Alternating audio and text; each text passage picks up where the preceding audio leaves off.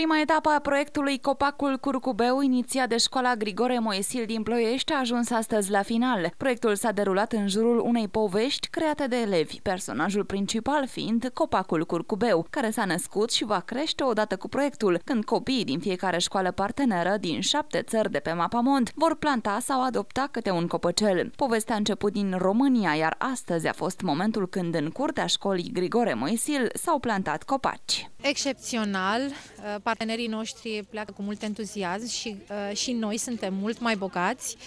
Uh, un schimb real de experiență și pentru părinți și pentru elevii noștri și pentru noi, cadre didactice. Iată cum suntem la proba practică, toți partenerii noștri își plantează câte un copăcel reprezentativ pentru fiecare dintre cele șase țări partenere, cu România a șaptea. În următoarea etapă, copiii vor, re vor realiza un atlas botanic. Fiecare țară va vorbi despre câțiva dintre copacii reprezentativi. În felul acesta vom studia și geografie, dar și biologie.